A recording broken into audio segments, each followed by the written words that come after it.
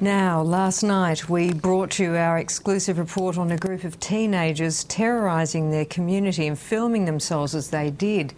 The story caused outrage around the country today, but what you didn't see was the shameful way in which they assaulted a teenage girl. Well, now her father has given us permission to show you some of that vision in the hope that the youths will be identified and justice will be done. And Rowan Wen has the story. We're not victims! The victim! Victim! victim! This is the DVD that has shocked the nation. Vision of the sickening mistreatment of a young girl, filmed by the very boys involved. She's the ugliest thing I've ever seen. Last night we brought you the story of this DVD which is currently being sold in schools around Melbourne. The vision, which is being sold for $5, shows the group of boys attacking a taxi, bullying drunks, making and exploding bombs, and dropping flares on a sleeping homeless person. But by far the most disturbing vision shows a shocking sequence involving a young girl, referred to by the male youths as simply the victim.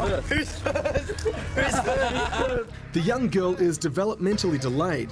Her family asked us not to run the vision last night, but today agreed for us to show segments so the youths involved could be identified. The young girl had met two of the boys from the group online using a popular chat room. She agreed to meet one of the boys at the Werribee station, but says she was quickly surrounded and led to this area near the Werribee River. Everyone's scared to go first, they don't want any diseases. There, she says, she was coerced into performing a sex act as the sick youths cheered and jeered. Her top was then thrown into a tree, while two other boys threw her jacket in the river. then one of the youths set fire to her hair three times, the last time using an aerosol can to achieve a larger flame. Finally, a cup of urine was thrown on her and she was urinated on from behind as she sat with her face in her hands. Before the sequence appears on the DVD, there's a graphic claiming the girl was a willing participant.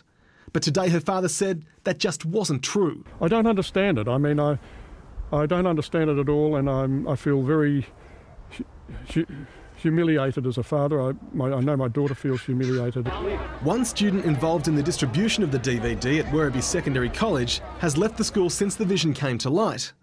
It's understood the DVD has also been available at Cardinia International College and Mary MacKillop College. Today Tonight has also provided a copy of the DVD to the police, who are investigating at least three incidents. At this stage, no charges have been laid.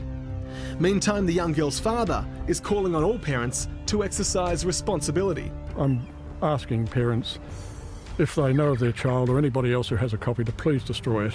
And he says his family will do whatever they have to to see these youths are punished for what they've done.